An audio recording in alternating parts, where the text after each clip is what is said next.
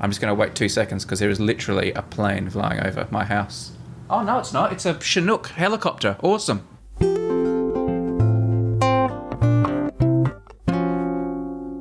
First idea. I, I, can I go first, please? Hang on. Do you want me to do three claps? Oh, yeah, go on.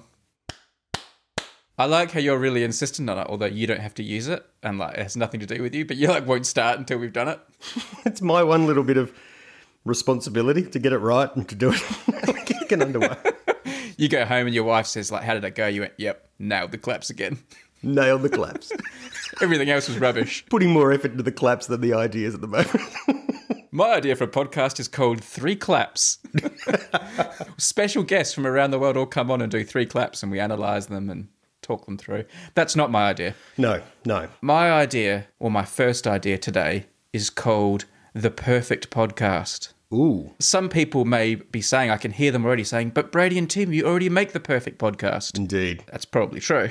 But that's not really what the idea is. The idea is this is more like a technical thing. It's about this endless search to record the podcast like in a perfect location in a way that sounds perfect. And in a kind of attempt to do that as a bit of a test, I have been out and about again with my microphone on location in California, and I thought I would play you something that I recorded if that's okay with you. So hang on, just to be clear, this is not the perfect content. You're talking about the the per, an, a perfectly edited or the perfect sound on a podcast. Is that right? I think yeah, more more technical, technically perfect. Right. Have a have a listen to this and see what you think. Okay. All right.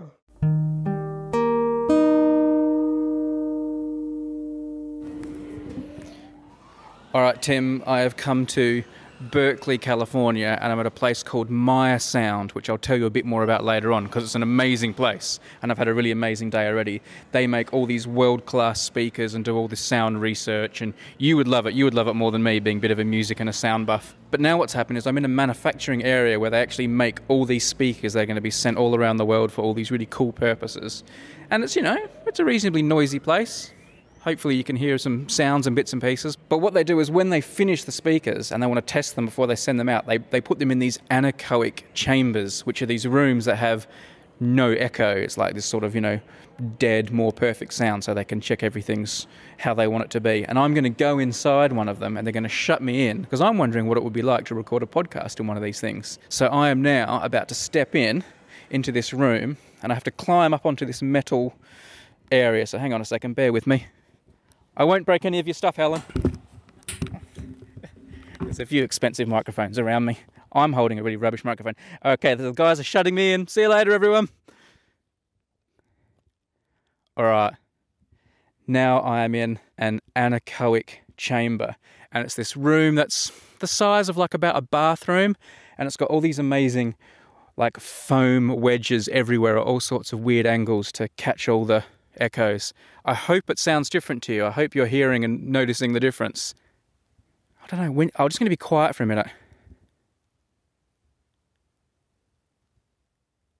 I don't know. I don't know because I haven't listened back. I don't know what it sounds like, but it is a really odd room to be in. It feels kind of uncomfortable.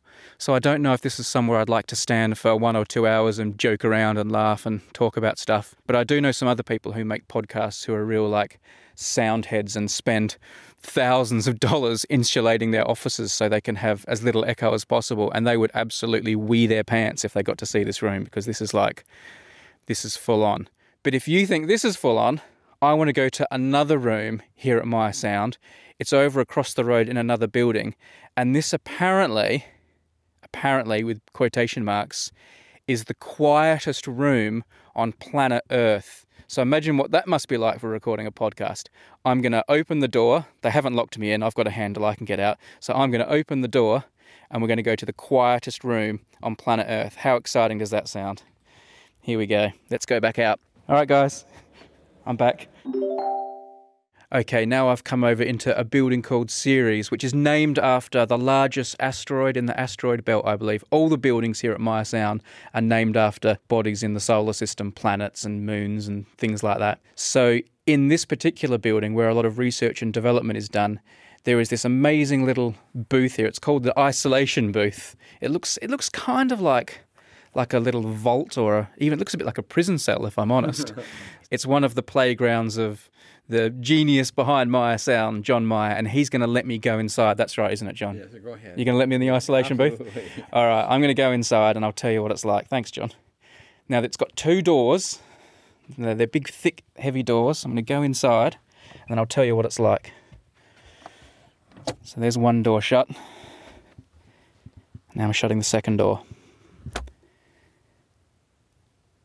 Now, I'm recording here on like my rubbish Zoom microphone, so I'm sure the effect is not going to come through in a podcast, which is then going through layers of compression and going to people's phones for them to listen in their headphones. But if you are standing where I'm standing, this is amazing. I'm just going to I'm just going to record the silence for a moment.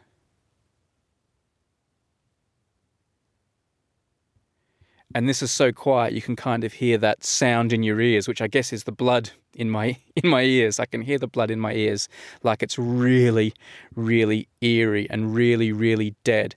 This whole room is mounted on springs. If a huge truck went past or i guess even if an earthquake happened and we are in san francisco so an earthquake could happen like it won't get into this room. This room is isolated from the world, and it's got these amazing walls with this special special materials, different layers of different materials to absorb all the sound.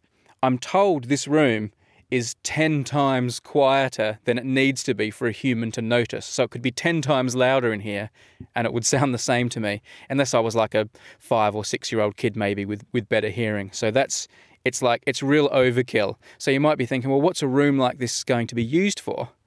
The main thing this is used for, as I alluded to before, is research and development. In addition to making all their whiz bang speakers, Meyer Sound are doing all sorts of different research into how hearing works, uh, hearing aids, just like just principles of sound. That's the sort of stuff that John's really into. And this room's really useful for that. So if they're doing research into something like tinnitus was being mentioned before in a conversation I had and things like that. This is a really good room for doing that. There is some debate about whether this is the quietest room on the planet. John was telling me there are some other universities around that might say, "Oh, we reckon we've got a competitor." But John sounds pretty confident. He's he's pretty near the top, if not the quietest. It's pretty close. I mean, this is like this is comparable to deep in a cave, like a perfect cave. It's probably quieter than a cave. And I'm just going to be quiet again because it's really amazing.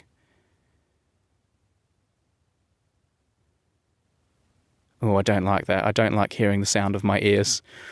Anyway, recording a podcast in here? I don't know.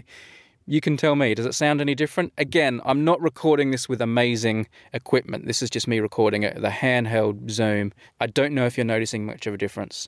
But now I'm going to go to one last place here at Meyer Sound. It's a very different kind of room where we can play funny games with the sound, which I think will sound interesting. So now we're going to go over there. I'm going to leave the booth leave the isolation booth. I'm opening door number one. They're, they're really heavy doors. Open door number two. All right. Funnily enough, I'm coming out of that room, John, but but this room here is really quiet as well, isn't it? So I'm coming from one quiet. What's this room called? This is the. This is our. This is our kind of our um, lab in here, where actually we can bring people in, and we can have them listen to music, so we can then see how they hear. One of one of the cool things that we've discovered is that if you you know the whole idea that if if you that when we play flat loudspeakers, uh, which has been a long time question, uh, how do we hear it because of our head and all the interactions? It turns out that we actually hear it uh, and the A/B comparisons compared to a real instrument uh, the same. So it means that we have a way of reproducing sound scientifically that's as accurate as listening to the live sound. So it, it means that we can record things live restaurant sounds or different kinds of things come in here and then play it back and then study it more in isolation. So it gives us a chance to kind of study how people hear in complex situations. There are a lot of speakers in this room, so we can create very complex environments. John, would you recommend your isolation booth as a good place to record a podcast? Like if I was doing a weekly podcast, do you think it would be good?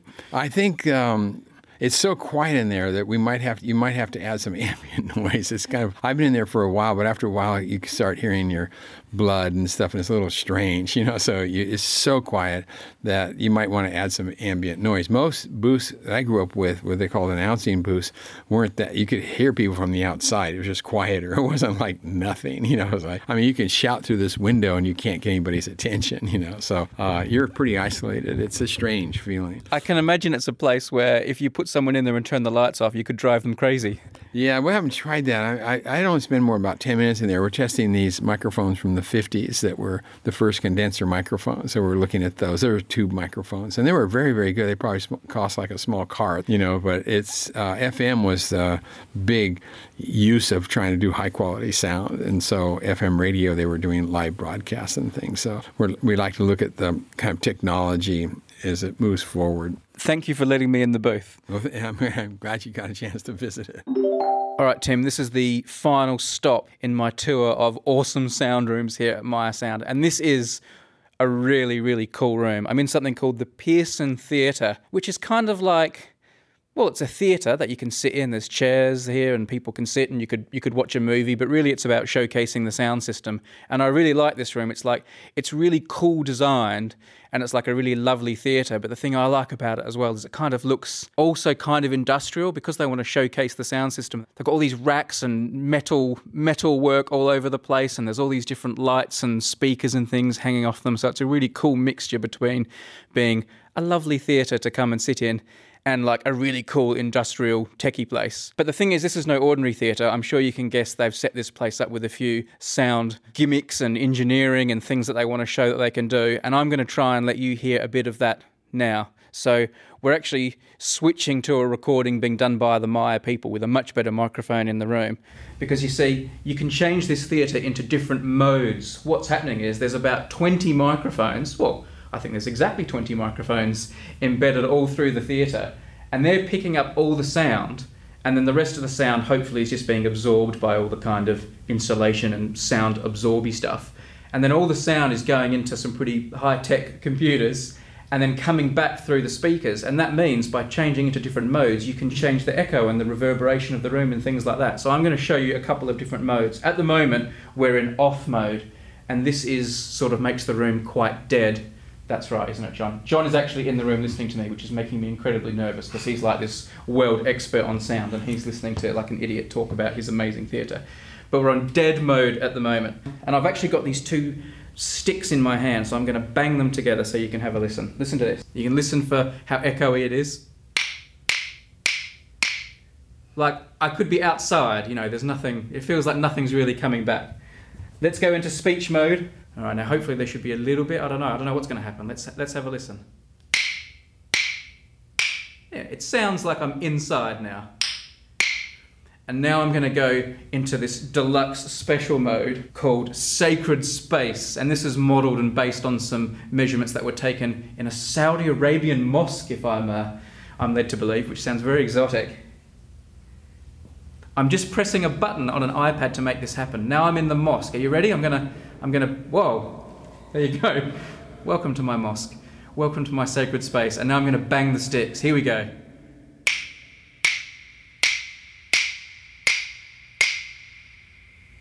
And just a reminder, I'm standing in the exact same place I was standing before.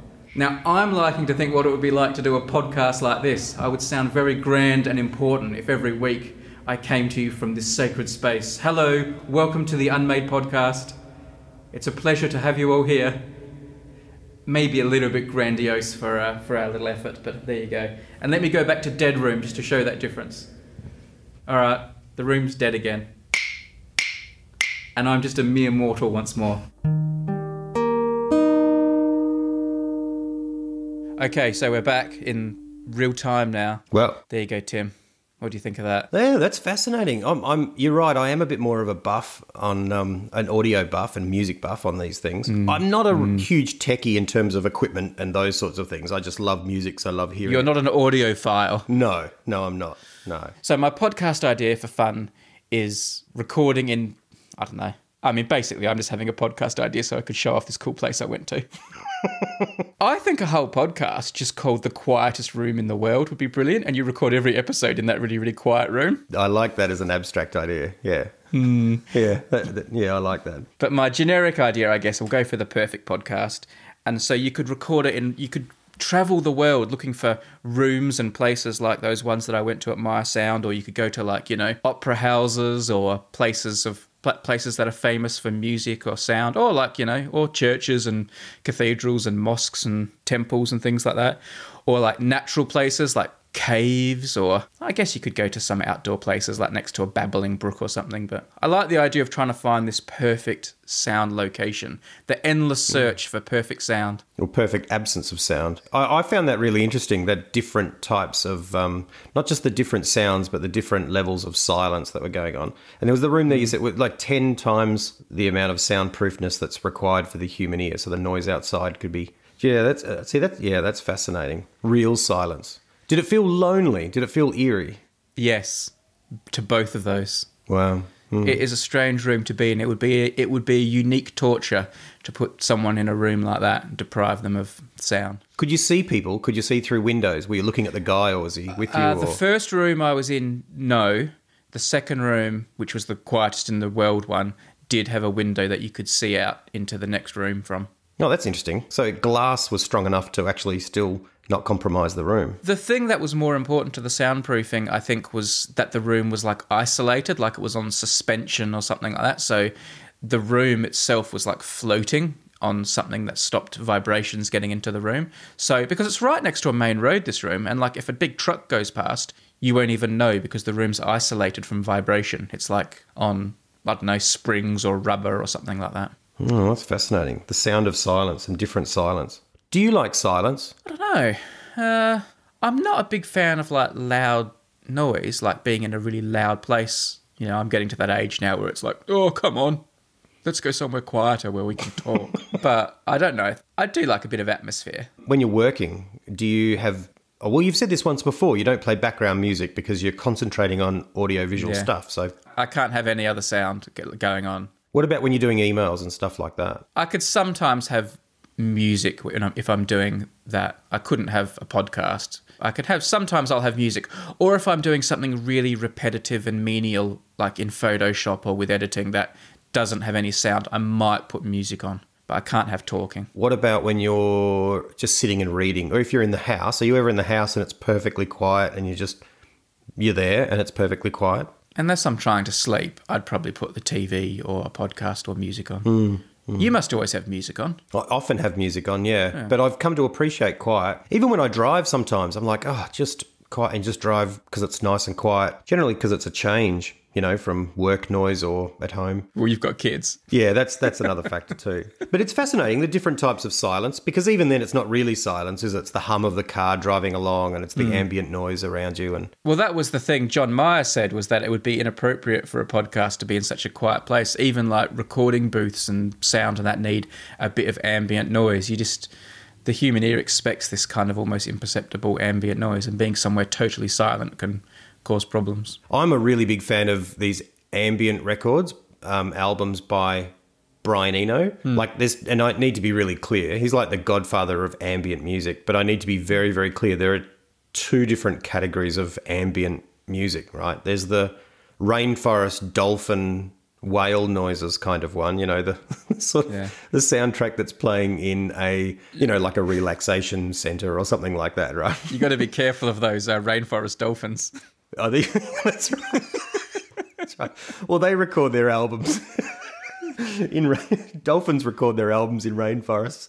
Whereas, um, but Brian Eno is is a very famous producer, but he makes he he makes these more they're urban ambient records. So his very famous one is is ambient one music for airports. Yes. fantastic. It's really really beautiful music. It's just a repetitive sort of well, I guess it's, it's sort of strings, but it's synthesizer strings in a particular sort of seventies you know mono kind of way.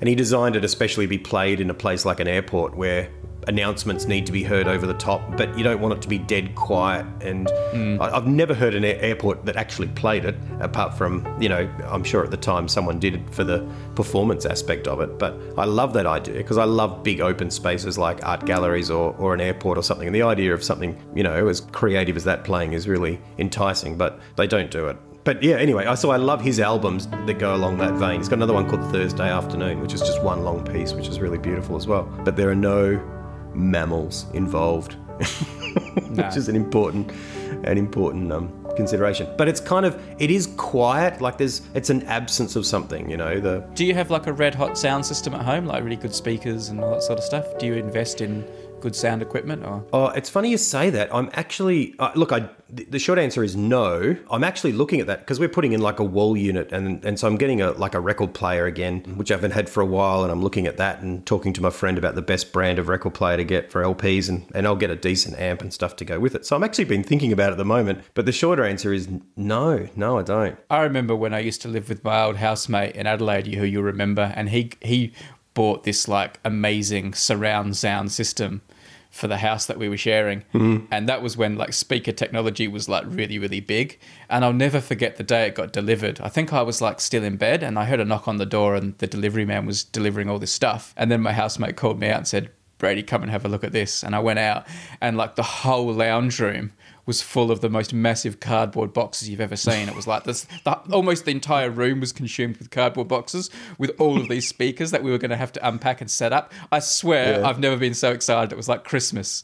We were like a couple of school kids, like, and we spent all day setting up all the cables and the speakers, and then we put the two the two sitting chairs in the room ready to ready to run it. Hmm. Do you remember that system at that house? I do, I do. Yep, yeah, yeah, I do. It was so big. it was as big as the room. It was crazy. big black. Yeah, it was the cliche uh, young guys with too much disposable income and nothing to spend it on because they're young and don't do anything except eat McDonald's. So just spent it all on speakers. The irony is you were playing like VHS editions of Star Wars. Do you remember? we were mainly playing Nintendo games on it. How disappointed would you have been if he'd called you into the lounge room and there were all these boxes there and he opens the first one and it's a microwave and the next one's a fridge and it's just all white goods for the home? I would have been pretty surprised. He's like, we're settling in, growing up. You'd be like, no. He's nesting. He's nesting, nesting with his housemate. Well, I was thinking, my mum, my mum bought around a little while ago a cassette player that she's got at home. If I had to bet a million dollars on someone I know having a cassette player, I think your mum would be my bet. I know. Well, Mum said she said to me, um, "Do you want a cassette player? I've got it." And I imagined in my mind the one that was really retro, and uh, and I said, "Oh yeah, Mum, that'd be cool. I'd, I'll love to have it. Just I've got tapes that I never play, but more just because it's cool to have a cassette player and I don't know, put it on the shelf or something." And Mum came around with a different one. And I said, no, no, no, this is not it. And she goes, oh, you mean the other one? And I'm like, Mum, you've got two cassette players at home. She's right up with it, Mum. So no Bluetooth, but two two cassette players. Two cassette players. Well, you never know. It's redundancy. All right, I think it's time for an idea from you. This episode of the Unmade Podcast has been sponsored by Audible, the leading provider of premium digital spoken audio information and entertainment on the internet. I am a big fan of audiobooks. If you have not got Audible on your phone at the moment, you really should. You have to check them out. If you're listening to podcasts, you're clearly someone who's going to enjoy audiobooks. Very shortly, Tim, you are going to recommend a book, aren't you? I am, I am. But before we have the excitement of Tim's recommendation, Audible are also encouraging you to enhance your summer activities with audiobooks. They say audiobooks are a great sidekick for summer activities like hiking, sunbathing on the beach, running, road tripping, enjoying downtime outdoors, and more. I think this is a very Northern Hemisphere skewed promotion, Tim. I'm sorry. Yeah. It is not the summertime for you. You are not about to enter the summer and enjoy audiobooks. But I but audiobooks are also good for the winter. This isn't the official line, but audiobooks are also good for the winter, so you can enjoy them too, Tim. Well, I can. In the car, especially. Well, yes, and on a, on a rainy Adelaide day, you can just go and sit in your car and put on an audiobook out in the driveway. That's right.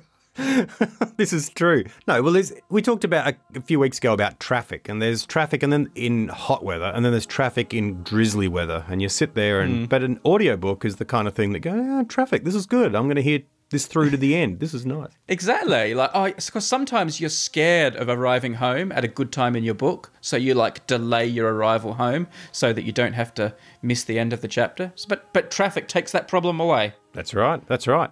Yes. It sometimes pushes it over into the next chapter, though. You sit sit around the corner from your home for 24 hours listening to the end of a, of a book. your wife's like, Where have you been? What have you been doing, Tim? Where have you been? I was listening to an audiobook around the corner. The wonderful thing about books is it's like, Where haven't I been? Well, I've been dashing through the streets of, of Shanghai. I've been flying over the Sahara. Where haven't I been? I'm sorry for that Audible. That Audible did not write that line. No. that, that, that is Tim freestyling. Look, if you would like to start a 30 day Audible trial, you will get your first book for free. Go to audible.com slash unmade. Or if you're in America, you can text the word unmade on your cell phone. See what I did there? Cell phone. Yeah. You can text the word unmade to the number 500 500. We will give you those URLs again in a moment, but now is the moment you've all been waiting for Tim's audiobook recommendation. Well, take it away. I'm excited because I'm really confident in what I'm recommending because I've become a little bit addicted to this particular author, Andrew Marr. Well, Andrew Marr, he's he's very well known in Britain. I know that he's a journalist on television, um, but probably not so well known in the US. And people in Australia or other places like Canada may may have seen a bit of him if they've had documentaries rescreened. He's a journalist, worked in print, now is a fantastic presenter. The great thing about him is he comes at history and writes books about history, and he does it with the concise pith of a journalist. That is, he, he summarizes, he's able to grasp it, and he presents it in a really interesting way. So he's got he's got a few books, and the one I've just finished is called A History of Modern Britain. I actually saw this as a book in a bookstore, and I thought, gee, that looks interesting. And the thought actually hit me, you know what? That would be great to listen to on Audible. So I downloaded it and I listened to it and I loved it. It's really fascinating. Like if I read history, you can read it from an academic point of view. So you're wanting every last detail, but often there's a lot of places yeah. through history. And there's another one like there's another one here called A History of the World. I've listened to a little bit of this one and it really he takes you somewhere surprising and and and places you don't know about. That must be pretty long the history of the world. Like how does he do the history of the whole world? Well, he doesn't do it in real time. Thank God. Okay. there's a really there's a really long boring start. that's right. That's right. Yeah, he covers uh, from the Big Bang onwards. Um, is takes a while to get through, but once you really get into it, day three hundred and seventy-four million. Yep, more dinosaurs.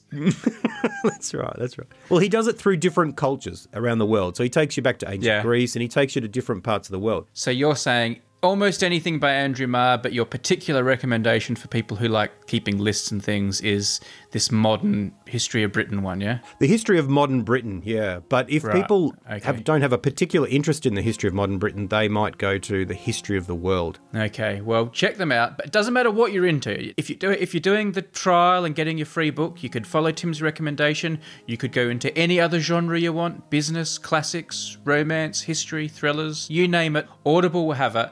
And you'll be doing Tim and I a favour if you do do this and you use our URL, because then at the end of the month, when Audible open the books and they find out, well, open the audiobooks, I guess they would Audible, to find out who, who's been doing them well.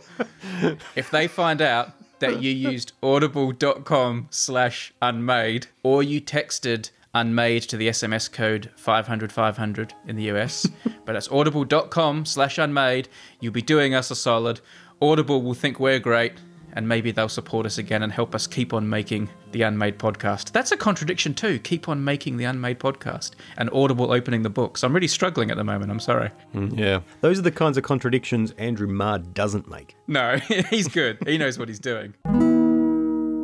All right, all right. Listen, my idea is is called Smith 360. All right. Right. The Smith is is a, the generic name, you know, the John Smith kind of Smith name. So it, Yeah. it's about a person. But the 360 is based on 360 reviews that are often done in a workplace of someone. Okay. So you do a review of someone, you talk to people, you know, above them, below them, around them, and all the rest of it to get an idea of their performance. Is that what the 360 means?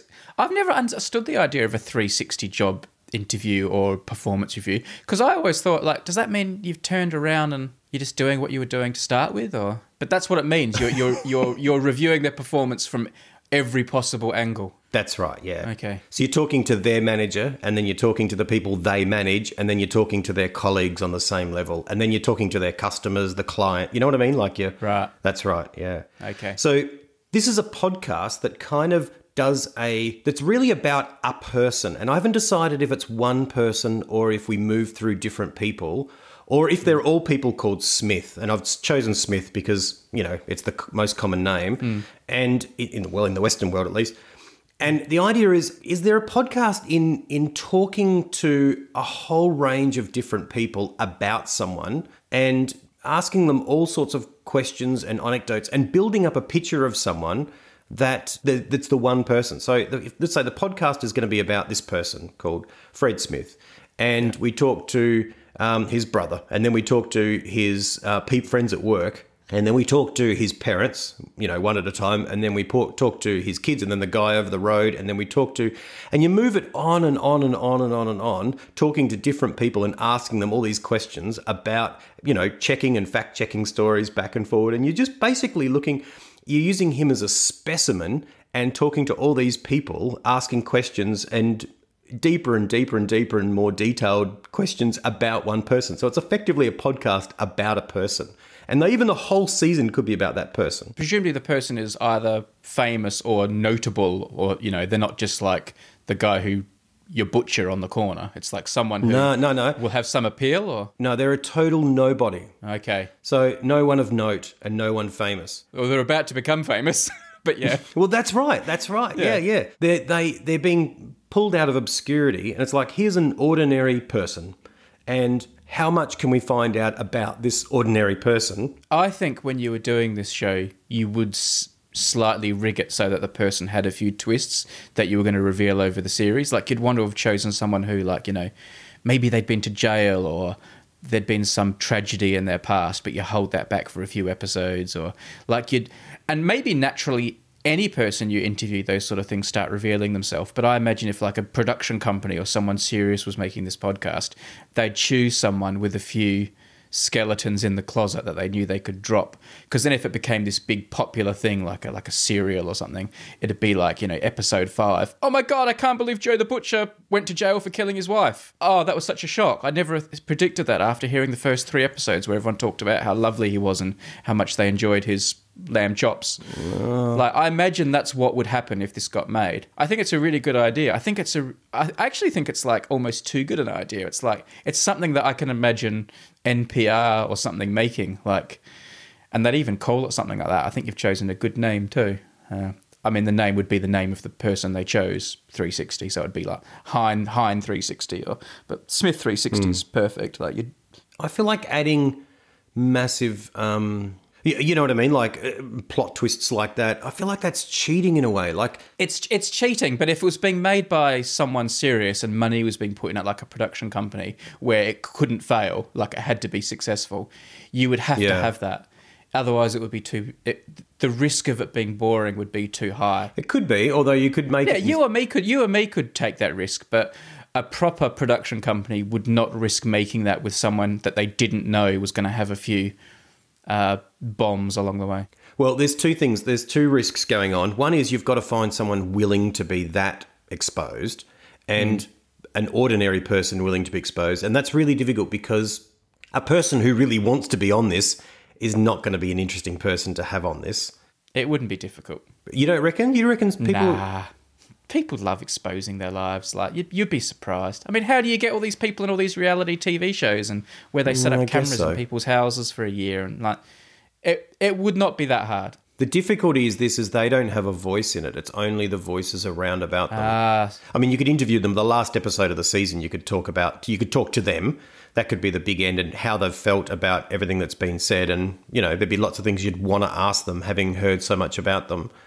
But I kind of the, the philosophy behind it for me is a little bit like you know, like every ordinary person has enough going on in their life to you know what I mean to base a podcast on. Like that's kind of the premise, you know, that you don't want to have to um have to fake it. But I totally I hear where you're going with it. Yeah. I don't think you would end up making it not speaking to the person.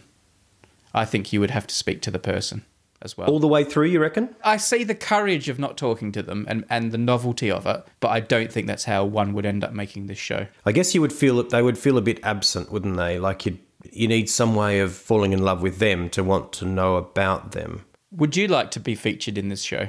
No, no, I would not. No. no. So there's not going to be a Hein 360. No. I would like to host it though. I love the idea of, you know, the asking and peeling and I like that. I think there's an interesting project in this in about finding I mean, it comes and you're the same as this. You're a, you're a journalist, but you you know, talking to people and you know, ordinary people and realizing that in behind quiet people there is all sorts of really interesting thoughts and backgrounds and jobs and ideas and, you know, all sorts of things that you can pull out. There would have to be some real big twists and turns along the way. I, I think just a normal life being told normally without any shocks and surprises would be too boring in the end. Mm-hmm. Like I, I I think everyone's interesting and everyone has a story and everyone has interesting aspects to their life, but unless they have, have some amazing stories or they are the most compelling character.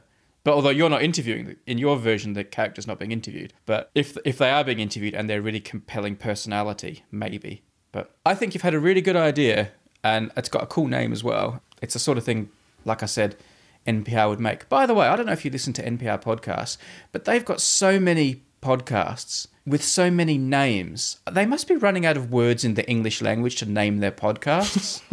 and they've always got these really pretentious names too. Because obviously Smith 360 is a very pretentious name, so it reminded me of NPR so much. Well, it could just be 360, but yeah, the Smith. NPR podcasts. It's been a minute. Embedded. Up first. Hidden brain. Code switch. How I built this. They have all these here and now. Only a game. Ask me another. Like they just they just have this endless list of. I wonder if it's someone's job to come up with them. I'm sure they get workshops. Yeah. NPR. I'm sure they have lots of meetings. Yeah, big whiteboard. Okay, guys, blue sky thinking. All right then. I like Smith 360. Yeah, there's something there. Take it, NPR. Go for it. NPR. You, you're you're offering this one to NPR, eh? I'm offering it to them to workshop. Back to you, man. What do you got? For the sake of a cool name, I'm going to call this podcast "The Last Supper." Right. and it's all about final meals. And basically, it's a discussion each week about what someone would like to have as their final meal. Ah, that's a great idea. Yeah. Why didn't I think of that? Because you were too busy thinking about Smith 360. Final meal. Because we ha- oh, you talk about this all the time. I know. This is a great point of discussion. Obviously, the, the cliche is the prisoner on death row. Yeah. I don't think I'd want to couch the podcast as in you're about to be executed or you're about to die. I wouldn't want like this to hmm. to have death looming over it. I'd want it more to be about food and a meal you'd like so much this is the one you'd have as your final meal. Of course, there is a second question here. There are two questions. One is what would you like as your final meal?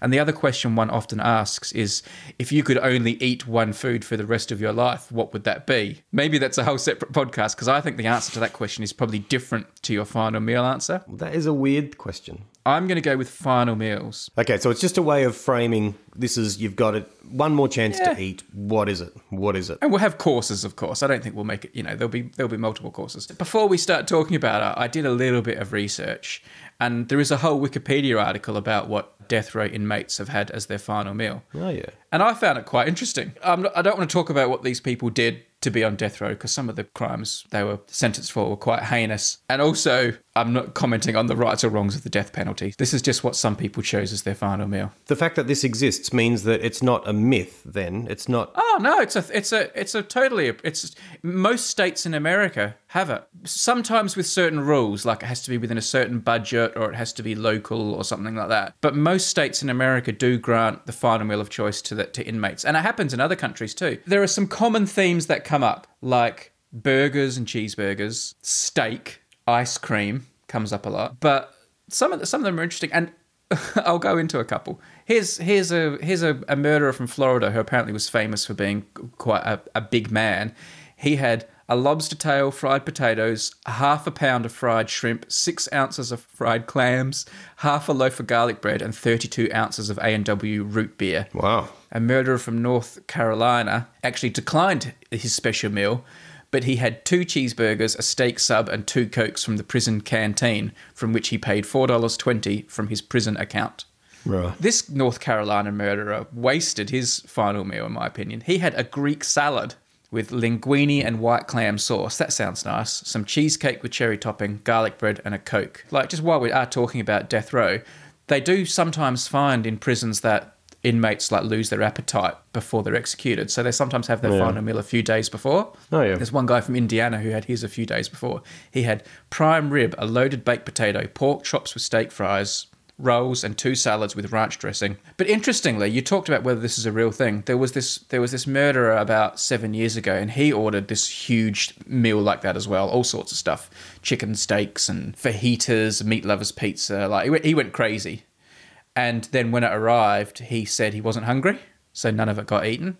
And that caused like a lot of outrage. And since then, Texas has banned the final meal thing, and Texas just gives you what normal prisoners have. Right. Okay. Yeah. There are a few quirky ones too, and there's just one final one I'll share with you. Who was this murderer from Iowa in 1963? He requested a single olive with the pit still in it before he was hanged. And I was like, why did he order that? So I had to look that up and I did a bit more research. And it to- turns out the reason he ordered that was because he told prison officials he hoped an olive tree would sprout from his body as a sign of peace. Right. Okay. I, I wondered if it was a myth, but it's No. um. Well, there you go. So why do we ask it in that way? Like, because it's a, it's just another way of asking people, "What's your favorite food?" But we ask it that way. It's sort of a black way of asking it. And I don't know. I think it's the. I think it's like the. It makes the question higher stakes, doesn't it? It crystallizes Yeah. your thinking. Okay, is this really the food you love? Because you're not having anything else after this. So come on, Tim. What's your final meal? Let's take away the nerve nervousness of the fact that you're about to meet your maker. But like, what what are you going to list as your final meal? You can have a starter, a main, and dessert. yeah, look, look, yeah, I like I like as a starter, I like oysters, but I I don't think it's only really what I feel like right now. Like it's. I'm exactly the same. I've changed my answer about five times in the last two hours. Yeah. And it's so much more fun to think about when you're hungry. I know, I know. But there's no reason why it has to be a dinner either. It could be a breakfast. Yes, some people have done that. By the way, when when you when you look at this list of final meals, some people go for a big English breakfast, which I would, which come to think of it, I would consider because I'd love my breakfasts. I do too. I love the bacon and the eggs and But no, don't. You're not going to be sneaky here. I can see what you're going to do. You're going to you, you're going to list all the different things that you might choose, so that you've got them all on the record. I don't want that. I want. i you have to commit. Well, look, I'll, I'll, I have to be honest. There's two things. There's probably a like a roast. I really love a roast, like a lamb roast. Hmm. So baked potatoes and peas and and um, gravy and you know hmm. lovely lamb. I just, I do, I do really, really love that. You're going for lamb as the meat, yeah? Yeah, yeah, I am. Hmm. Yep. Yeah, so that's I, I, I, have to go with that. The other thing, and because I can, I'm weighing it up against something else, so I'm just going to simply say that's the entree, which is. You're having a lamb roast as your starter. That's right. Before I move on to um, the KFC. Right. Yep. My favourite junk food is KFC, and so I, I uh, you know, the chicken. Yeah, so I, I, I don't mind a piece of that. I had on my possible list just a huge plate of KFC skin. Oh, Brady. As if you're not remorseful enough for the murder you committed, you also have to be remorseful for all the KFC you just ate. Do you remember the guy we knew who managed a KFC, and Yeah. we heard rumours about all you can eat KFC, Ugh. and there was just visions about people just taking the skin off, and you know what I mean? It being Yeah. just an incredible waste of actual chicken. The product is the skin. I don't uh, why they don't just sort of package that. I think selling just skin to eat like is just a bit too base. Oh no, you wouldn't call it skin, obviously, but there's got to be a way of getting their herbs and spices and packaging it into some some like a bar or something like a Mars bar. But it's a bar, I, I'm just thinking. KFC bar, a drink. I feel like the the the, the um, Would you like a Mars bar or a chicken skin herbs and spices bar? what's the herbs and spices that's the taste? Surely you can do other things with it. No, you I'm need saying. the you need the oil and the fat in there too. Just the herbs and spices would be dry. It's the it's all that oozy, yucky fat and oil that make the herbs and spices so yummy. Yeah, perhaps. I guess. Anyway, it's tempting from time to time. Sometimes I regret it as well, though. But yeah, so that's in there too. I did have KFC skin as a, like a joke one, but do you know what? When I then went through the things that people had eaten as their final meal, KFC was super super common, really common, Was it really? very. Well, there you go. So what about you then, man? Come on, what else You you, haven't got? no, you haven't chosen your dessert yet. You've started with a lamb roast. You've gone to KFC, not in bar form at this stage. What are you having as your dessert? More KFC. Oh, I think it. That's pretty. I think it's. I think just vanilla ice cream, to be honest. Vanilla ice cream, maybe with that magic topping. It's pretty Oh, yeah, the- simple, but that choc ice one that goes hard, like that. that Yeah, choc ice top. yeah. Oh yeah, good call. the mint one. Yeah. oh, that mint choc. Oh gosh. Yeah. Gourmet. Yeah. Yeah. this is like yeah. I mean, I've had better. I've had better desserts. I've had better meals. I've had, you know what I mean, like really Hmm. beautiful meals in in some lovely parts of the world, or also in, in different restaurants. But Hmm. I you sort of think about it, and you come back to these things, which are relatively common, really. I mean, very common. Perhaps the most common meal on earth is a lamb roast in uh, in, in um, Western countries. I think nostalgia plays a key role, and that's been a, it plays a key role in my choices as well. I'm going to start with a really really big prawn cocktail. A honey prawn cocktail. No, I'm not having the honey prawns, surprisingly and controversially. Woo! Wow. But I'm having like just fresh, fresh cold prawns, shrimp, big ones, like not little tiny little ones like the size of your thumbnail. I'm talking like approaching hand sized, huge prawns with with Yeah. drenched in prawn cocktail like cocktail sauce, delicious pinky prawn cocktail sauce. For my main, uh, I'm going to go for. I'm thinking I might go like a chicken parmigiana with chips. okay. So, like a chicken schnitzel with ham and cheese melted over the top, and a nice big generous serve of chips on the side. And then for my dessert, I'm going to have an apple pie, hot apple pie with. I'm going to go vanilla ice cream too, but maybe a little bit of sort of cinnamon uh, in the in the vanilla ice cream. And the apple pie has to be like loaded with apple and not too thick pastry. I don't want too much pastry in there. It's got to be high apple concentration in the apple pie. Generous on the apple with thinner crust. So I beg to differ there. I'm with you with the apple pie, but I love the pastry. In fact, Mm. the, the apples are optional. So you could have KFC skin followed by apple pie pastry with no apple. Brady, you want your KFC without the chicken and your apple pie without the apple. I want a little bit of KFC. It's the, the KFC. That's ridiculous. Oh man, that's a good choice. That's a pretty good meal. But again, pretty common meal. Hmm. You know, in Australia, a um, you know, a palmy, a parmigiana is Hmm. um, chicken parmigiana or is chicken or beef parmigiana. What was the schnitzel? I went for chicken, but I think that's it. Like it's really common in Australia, but it's not so common here, and I think it's I think it's sort of pulling at my heartstrings a bit. Ah, okay. My final meal, I want to be reminded of home and happiness and youth and things like that. Yeah, yeah. Chips are good. But I think it would be a good podcast. Each week you have a different guest. I'm, I'm betting right now everyone listening's thinking about what their final meal would be. Hopefully, some of them are going to the subreddit and telling us so we can look and tell them why they're wrong and they should be having KFC skin. It is interesting. Well, it, this this podcast is obviously a good idea because it's it's a conversation point already. I've had this conversation so many times with people, and you know, your final meal and what do you want? Mm. Yeah, that's a good one. It works. Definitely works. All right. Well, let's pause for lunch. And yeah, no, I'm hungry. can I just say this while we're on that? Hmm. There's there's no one on television more condescending than a judge judging food on a chef, like a chef judging food. Yeah. Even on the ads, they're just they're looking condescending at. You know what I mean? There's something condescending about them. This is pathetic or this is even when they're saying it's good, they're saying it in a way that's derogatory and pejorative. Oh, it's just like just leave. If you were the contestant, just say, okay, well, if you don't like it, eat something else, and then just walk out and eat your own food. Joke all you want though. How compelling are cooking shows on TV? No, I don't find them compelling. I'm sorry. Oh, I don't oh. watch them. Then how do you know how condescending the judges are? Well, I see them on the ads, and there's bits and pieces. I'm familiar with them. I like the ones with the guy. Every now and then he gets really angry. You know about how. Oh, Gordon Ramsay. yeah, yeah. I've watched a little bit of that. Um, he, but again, he's getting so angry. It's like, what? Why are you getting so angry? Just explain to them their business. This, it's a. Um, I don't understand why you're getting so angry. This is not. You'd be a fabulous TV producer, Tim. Hey, everyone. That's right. Just calm down.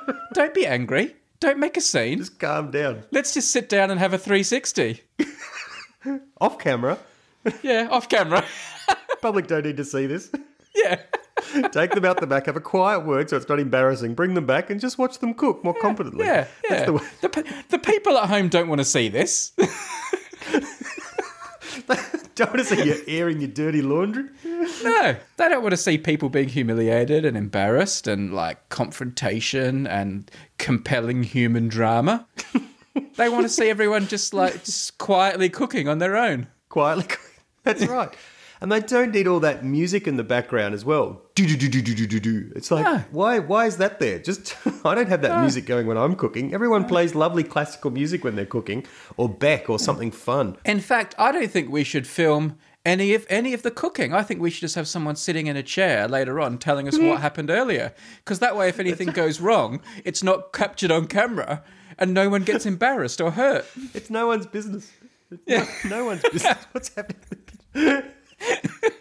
Next week on Tim's Cooking Show, an hour of dead air. It's just like when I when when you grow up, like it's just sort of all quiet, and then mum like it's blank screen for forty five minutes, and then mum walks out with a prepared meal, and it's really quite nice. That, that's your, basically that's your experience of cooking for 20 years was just like food magically coming out on a plate that your mum brought from the kitchen. That's why you're so shocked by cooking shows. It's like horrific to you that this had happened. oh, it's just devastating. It's just Yeah. it's it's.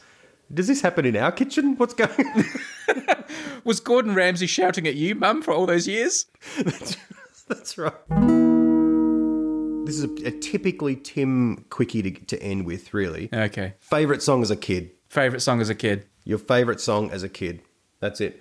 Different people come on and they talk about their favorite song as a kid. All right. It's not a very good idea, is it? Uh, well, I mean, I don't think like favorite songs is like at the cutting edge of original ideas, but uh, but but you know, I, I'm the guy that came up with final meal, so I guess I can't throw stones at the moment. But let me let me elaborate on a little bit and justify it a little bit. There's there's Go on. shows where people talk about this kind of thing. Like there's the Desert Island discs where people come on and talk about I think it's seven songs and, and you go from there. But this by talking about one song and locating it in your kid, it opens up a conversation. Why? Why this song? And where did you first hear this song? And did you ever see the act live? Why was it the one you love? So there's a there's a story and there's something that can unfold around the song. Why was it? Is it attached to a particular memory? Is it attached to a particular time and place? And did you have the person's poster on the wall? And I mean, there are obviously different stages of kidhood as well, but I guess people can just take that how they want to take it. Yeah. What's going to be yours? oh, I can't go past the. My favourite song as a kid is a song called "You're the Voice" by John Farnham. Uh, yeah. What a great choice. Awesome song. That was quite big over here in the UK as well.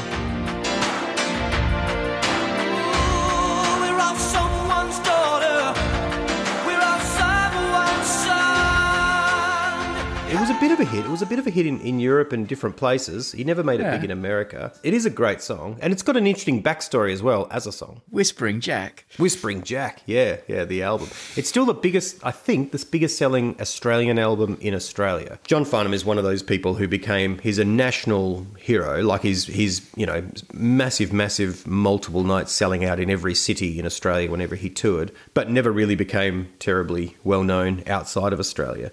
And I think every country probably has people like that. For some reason, are a phenomena at home, but never it never translates overseas. Yeah, there's one over here, the the Beatles or something in in England is like that. It's like everyone in England just carries on about. Yeah, yeah, yeah. I don't know. What uh, what's the backstory to You're the Voice? Oh, only the, the way the way it was recorded. So it's a song that's written by I've forgotten the guy's name, you know, but it sort of floats around the place. It was a minor hit, and it was never really a you know big for anyone like that. And then then the the Ross Wilson, the guy who was producing John Farnham's big comeback album, you know, found it, and then they started producing it in a certain way. They added these little hand claps at the beginning, which sort of give it an anthemic feel. And then John Farnham um, is a big fan of ACDC, and um, they have their famous song, It's a Long Way to the Top If You Want to Rock and Roll.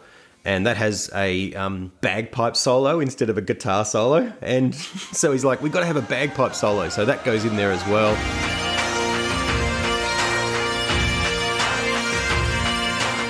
And so the song was totally kind of recrafted, and that's kind of what makes the song. You know, it starts off in a really cool way, and then it really goes into this other level as an anthem with the with the bagpipe solo. There aren't enough songs with bagpipe solos. There, no, there's not. Oh, I love, I love it. Rod Stewart does it every now and then for obvious reasons. I'm going to go for Kokomo by the Beach Boys as my choice Yeah, I, you know, I love that song too. because my dad bought it on a like as an LP, like a vinyl single, and we used to put it on the record player while we were swimming in the pool. There's a place called Kokomo. We had to take it in turns getting out of the pool to restart the record, or like move the needle back to the start. So you'd like swim for three minutes, and it's like, all right, it's your turn to get out and replay Kokomo. you have to get out and dry your hands with a towel, tiptoe into the house, not to spill too much water all over the house, start Kokomo again, and then run back outside and jump in the pool. It is a great summer song. Yeah, I eventually did get to see it live. My dad took me to go and see the Beach Boys uh, when they were in Adelaide, like you know, in one of their revival tours. Some of the some of the original band was still there, and uh, but the biggest highlight was that jo- John Stamos was on drums, Yes, legend, full house. special guest touring with the Beach Boys. John Stamos on drums. I remember him playing a lot of bongos, but that was Yeah. and they did go come on. That's where we wanna go. We gotta go, go. The, the strange thing about the Beach Boys, they they share this with the Bee Gees. Some of the Bee Gees is that they have beards but really high voices, and that's a funny combination. Do you know what I mean? Beards but high voices is an unusual combination. It And, um, is, it is. but they do it and they pull it off.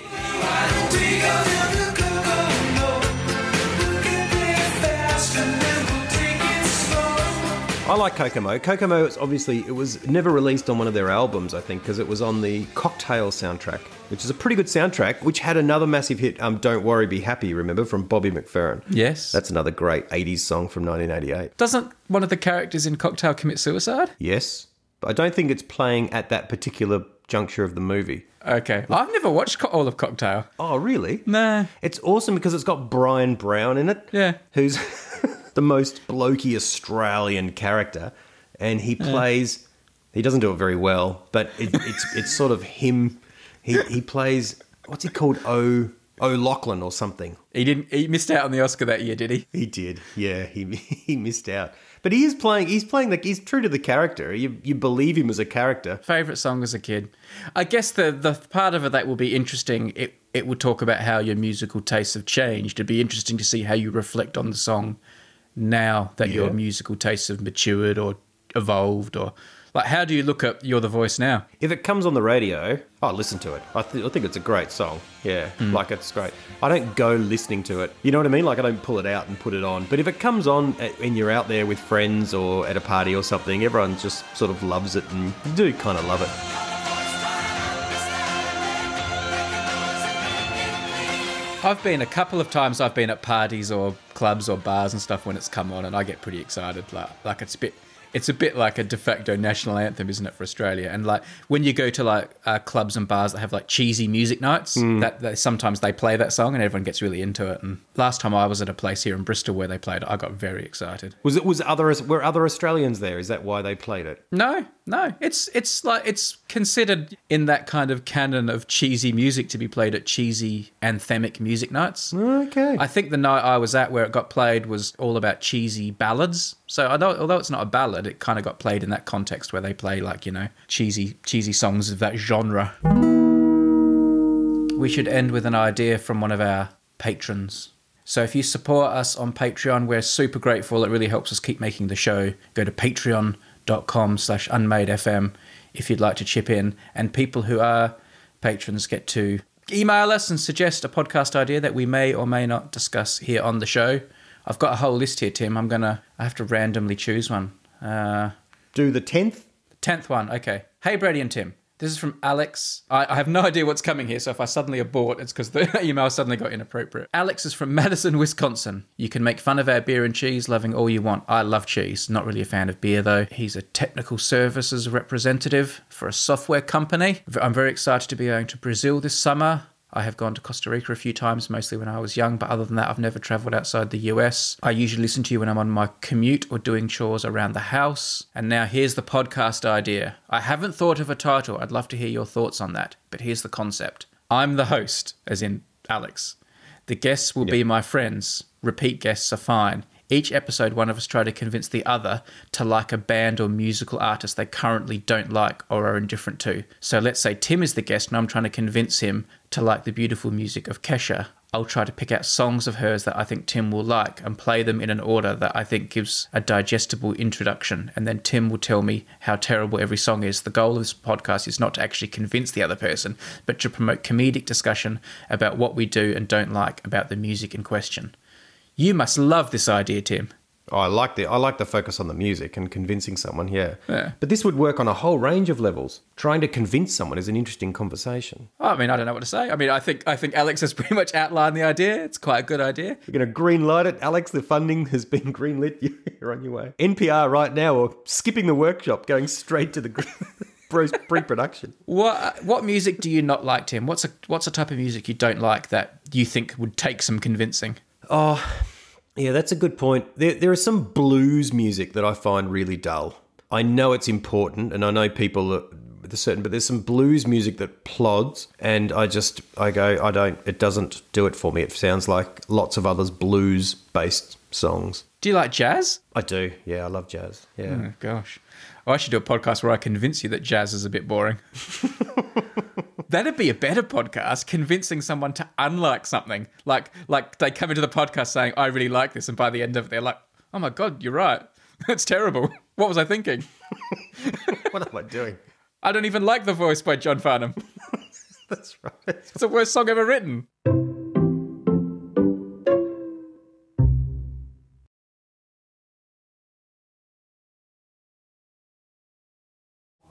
I'm just sitting here quietly while Brady's gone to the front door in case it's a delivery. I don't know if he's going to listen to this, but if he does listen, then uh, this is what he'll hear.